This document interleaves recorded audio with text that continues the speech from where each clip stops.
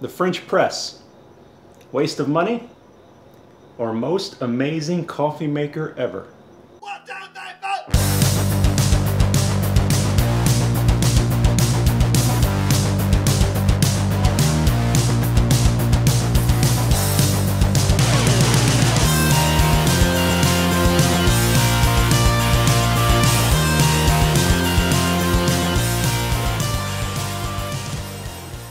Guys, it's Sam with the Blind Spots. So as you can probably guess, today we are talking about the French press. I made a video recently about coffee and in the comments, somebody, and I, I have to forgive me, I don't remember the name of the person who left the comment, but somebody mentioned the French press, said it was awesome, said I should try it out, possibly being a good, uh, viable solution for people with low vision. So, my wife and I happened to be at IKEA in Cincinnati recently and they had this guy and they were selling them for $10. So I'm like, you know, 10 bucks, can't beat that. My wife and my son um, both drink tea. So if it doesn't work for coffee, then, you know, at least they could probably still use it for tea.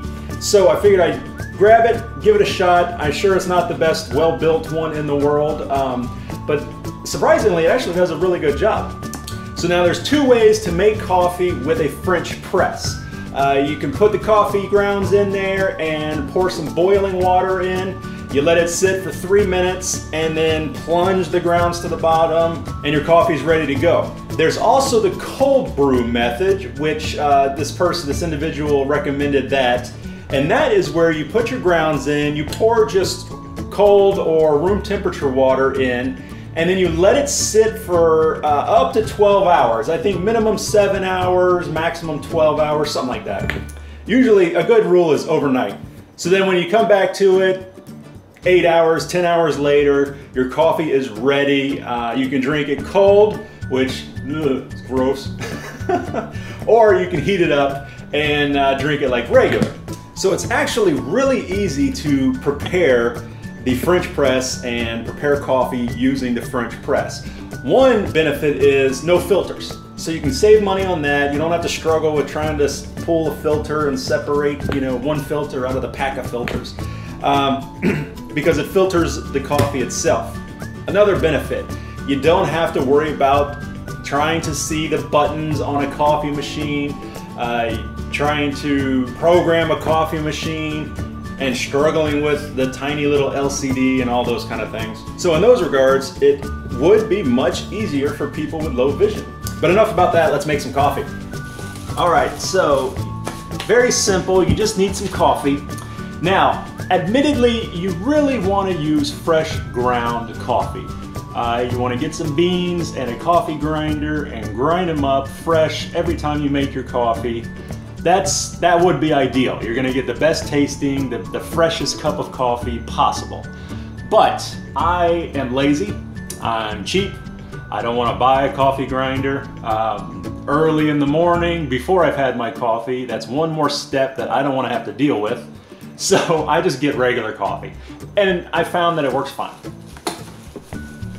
So to make things easier for me, I just have a measuring cup and I get roughly one scoop. I think this is a half cup. I've measured it out to where this is how much coffee I need for three cups of water. So right into the French press. And now we need some water.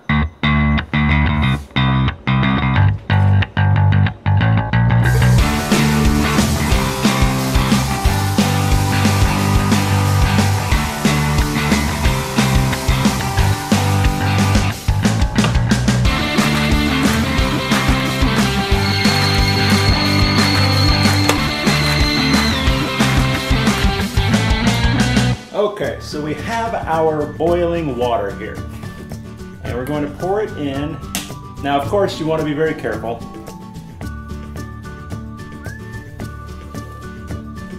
You want to pour in a little bit.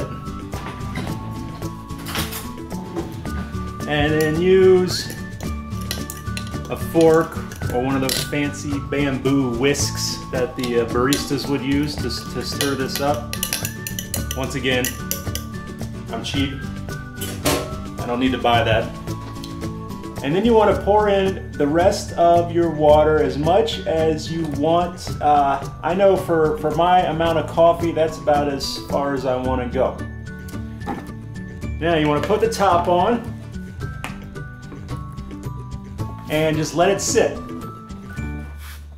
This needs to steep for, as I said earlier, about three minutes. It's actually a really nice day today. We've had really hot weather and today is the first day that it's been cool in the 70s. So yeah, loving it. Got the doors open, all the windows open. Anyway, now it's very simple. The plunger has a, a rubber gasket around the edge and a little spring to hold it in place. You just want to slowly press down and there is some resistance but firm pressure all the way down and it should go all the way down to the bottom and you are left with delicious coffee.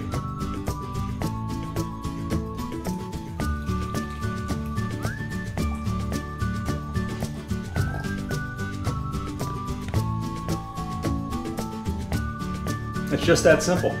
So that's it guys. That is the French press in a nutshell. It's actually really easy and it's easy to use. Um, I gotta say, I think I prefer the cold press method, and I wanna thank the viewer who mentioned that in the comment.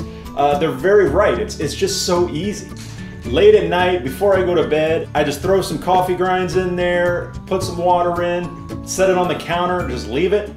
And then when I wake up in the morning, plunge it, pour it, heat it up in the microwave, and I'm done. Another benefit to the cold press method, and uh, this is just what I heard, I can't verify anyway, but they said that it's a much gentler coffee on your stomach because it doesn't have as much acid in it.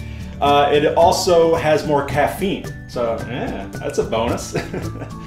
but like I said, I, I don't notice any difference. I love hazelnut coffee. I get this Folgers hazelnut ground coffee. I took a scoop of this. I did about half a scoop of this this morning and half a scoop of regular Maxwell House in the French press. I did the cold, cold brew last night. Had a cup this morning, a little bit of cream, a little bit of sugar. Oh my lord, it was delicious. It was a great cup of coffee.